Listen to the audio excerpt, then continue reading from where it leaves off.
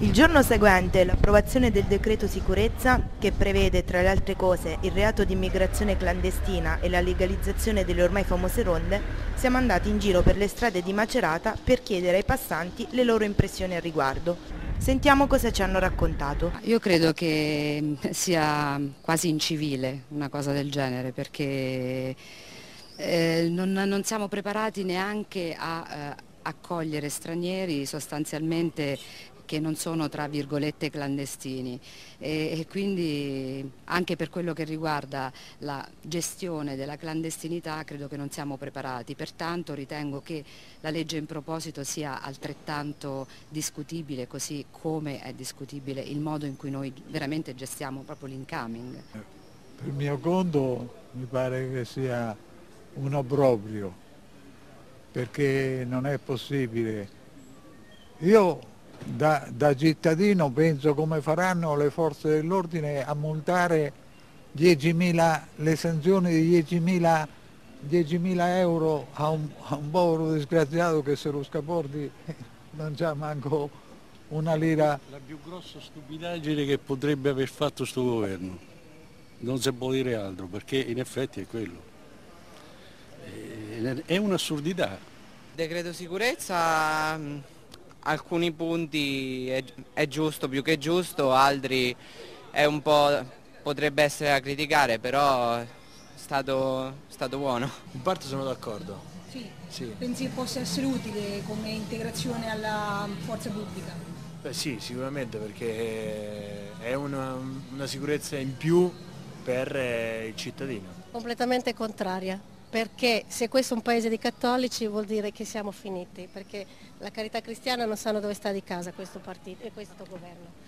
Volevo sapere le vostre impressioni sull'ultima legge che è stata approvata dal governo, il pacchetto sicurezza, quello in cui è stato inserito il reato di clandestinità e le ronde, che cosa ne pensate? Le ronde poi, quella proprio non mi sta bene, è per quello che capisco io. Loro non c'è sordo, come fa a pagare le multe? 250, quando è? 550 euro, 250, me lo dice mio figlio stiamo parlando no, sulla televisione, ha detto che ha detto fare multe minimo 50, massimo 250, ma quelli non c'è soldi, vengono qui per guadagnare una lira, quelli onesti, per mangiare, per rimediare che cosa, come fa a pagarti la multa? Le elezioni amministrative del 6 e 7 giugno 2009 hanno sancito nella provincia di Macerata, tradizionalmente appannaggio del centro-sinistra, la vittoria di Capponi, candidato del PDL e dei suoi alleati.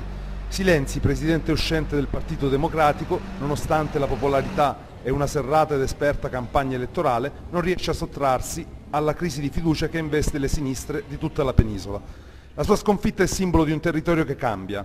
Nella Marca Alta, per decenni satellite dell'Emilia Rossa, il consenso, una volta blindato, inverte la direzione. Non esistono più le regioni rosse? Chiediamo spiegazione ai cittadini e Macerata risponde. È stato un bel esploit eh, a vantaggio della destra, sì. a vantaggio dei cittadini. Uh -huh. Non è un voto di destra estremo, ma è un voto dovuto al fatto che la legge sull'alternanza serve proprio a questo. Tre gestioni di centro-sinistra potrebbero aver stancato la gente. Ho votato per Capponi quindi? Cioè, e mi piace tantissimo, anche a Natale Capponi.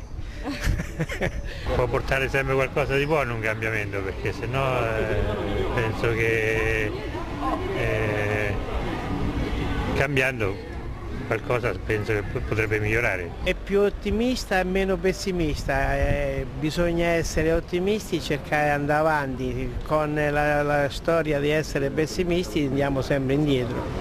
Cioè, questa gente che non si sente sicura eh, sono questi che votano Lega perché gli, pensano che gli dia più sicurezza. Eh, che te devo dire, ci abbiamo capito un poco, però quello poco che ci ho capito, un meglio è. Sono stato sempre sotto padrone e mi piace stare sotto padrone. Dopo quell'anno che comanda ci penserà. Non, eh, non, vi dovete prostituire, cioè scendere a compromessi. Cioè meglio pane e cipolla, ma essere se stessi, capito? Pane e cipolla.